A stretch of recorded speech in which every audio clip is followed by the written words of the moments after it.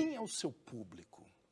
Eu gosto de fazer essa pergunta para quem está no YouTube, como é o seu caso. Parece que vocês conhecem tudo. É, não, mas a gente não tem esse perfil Não? desses caras que sabem, que olham lá os ah, Google Statistics Ah. e quem são, e o- sexo, classe social, Vocês não idade. ficam olhando isso. Vocês estão muito ocupados, né? Pensando na próxima temporada que vem aí no Oscar, inclusive. Ah, e também, pô, já tem tanta neurose, né? Essa é uma neurose que não precisa ter essa neurose a mais, né? Pensar no público atrapalha. Atrapalha. Eu acho que a pior coisa que você pode fazer para o público é pensar, é levá-lo em consideração. Quando você está criando alguma coisa ou pensando. Por porque- quê? Cara, porque a gente.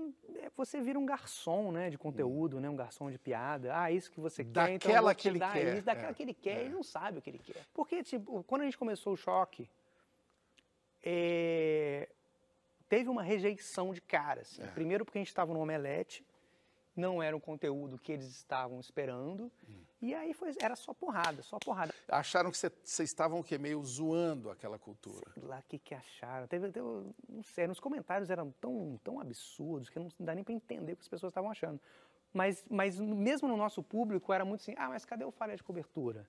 Eu quero falha de cobertura. A pessoa quer o que ela já sabe Hum. O que, que você faz, o que é totalmente compreensível. No falha de cobertura, quando a gente começou, era, não, mas cadê o último programa do mundo? Então, se você ficar refém disso, você não faz nada novo. É, uma, é, é realmente uma armadilha isso. É, e há pouco tempo atrás a gente tinha assim, um monte de programa na TV aberta de humor. Né?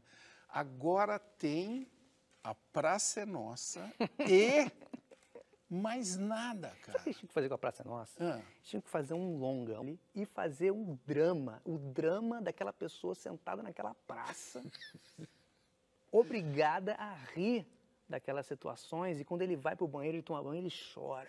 E o Brasil ia se emocionar. E, pô, Oscar. Aliás, o Brasil ama a Praça Nossa. Né? Deve amar. Olha, o Carlos Alberto está te vendo, hein? Será que ele vai te contratar para fazer esse roteiro? Não, não estou dizendo que eu vou fazer, não. Alguém, alguém vai fazer. O que, que aconteceu para o sumiço desses programas de humor? Você acha que, que nós estamos ficando ranzinzas? É, não sei. Eu acho que de tempos em tempos os, os, os executivos da, da televisão, eles. Não, agora é humor. Aí vai. Bah, bah, bah, bah, bah. Depois, Não, agora é, tem que ser ação. Ah, Não, agora é trama. Reality. Não, reality. E é isso. E a gente fica aqui refém disso. Do que, que a gente. Eles dizendo o que, que a gente quer. Eu lembro que eu estava no início lá do grupo da criação de Cacete Planeta, programa legal da Regina Casé. Chegou aqui agora e falaram que acabou o humor. Agora, Agora é isso. agora é isso. É uma câmera, um Como cara assim? correndo com a câmera atrás de uma pessoa baleada.